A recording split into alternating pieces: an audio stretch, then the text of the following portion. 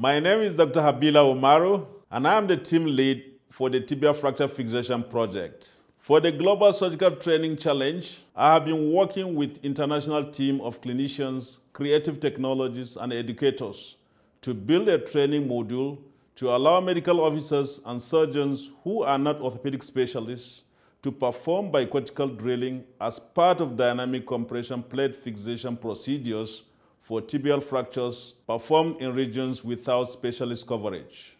In Nigeria, the shortage of orthopedic surgeons leaves patients vulnerable to traditional bone setters whose unsafe practices commonly lead to gangrene, limb loss, and death. Our module provides high-fidelity 3D printed bone simulation models to teach learners bicortical drilling skills. Open source 3D printing technology supports the local manufacturing of the highest fidelity bone simulation model at the lowest cost in low to middle income countries for medical officers and surgeons who are not orthopedic specialists. All of the modules bone simulation models are open source, can be made on open source, open filament desktop 3D printers using biorenewable plastic and are designed to be ready for use right out of the 3D printer.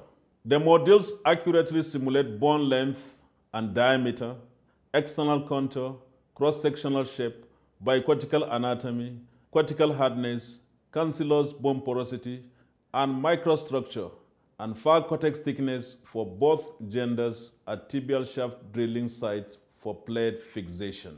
The learner will listen to audio file while viewing graphics to learn to identify the sound changes during bicortical drilling.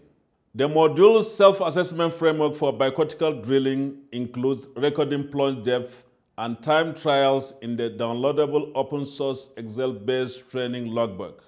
This will be translated into the six official language of the United Nations. Our surgical training module will teach drilling skills that are transferable to the performance of other limb-saving orthopedic surgeries that require implant stabilization and fixation.